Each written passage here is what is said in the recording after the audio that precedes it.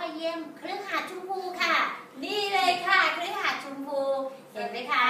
ค่ะค่ะเรื่องที่ดาไปใช่ค่ะ เครื่องหาดกุหลาบชมพูมีอะไรบ้างคะแนะนำเลยค่ะ มี iPad นะคะ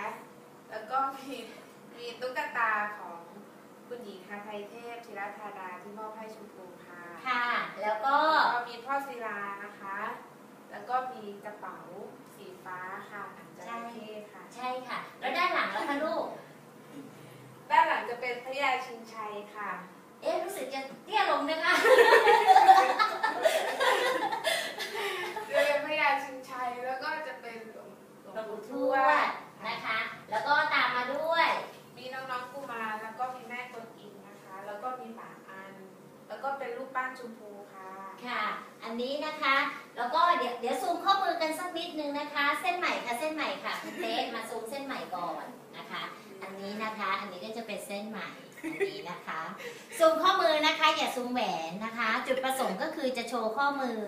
นี่นะคะ นี่ค่ะ อันนี้น่ารักมากเลยลูกอันนี้อะไรคะลูกแนะนำนิดนึงอันนี้เป็นพ่อชูชกค่ะนะกุ้งมอบให้ชมพูค่ะ เห็นไหมคะ บ้านเราเทรนการแต่งตัวไม่เหมือนกันนะคะ เครื่องประดับก็ไม่เหมือนกันนะคะ อันนี้นะคะ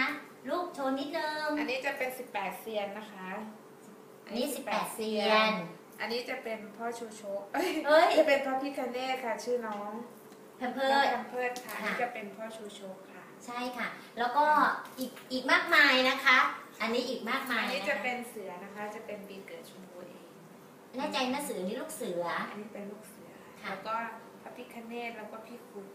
มากมายนะคะ มากมายจริงๆนะคะ อันนี้ก็เป็นอ่าฉบับย่อๆนะคะเดี๋ยวฉบับเต็มๆนะคะ ก็ไว้ค่อยนำเสนอในคลิปต่อไปนะคะสำหรับวันนี้ขอบคุณมาก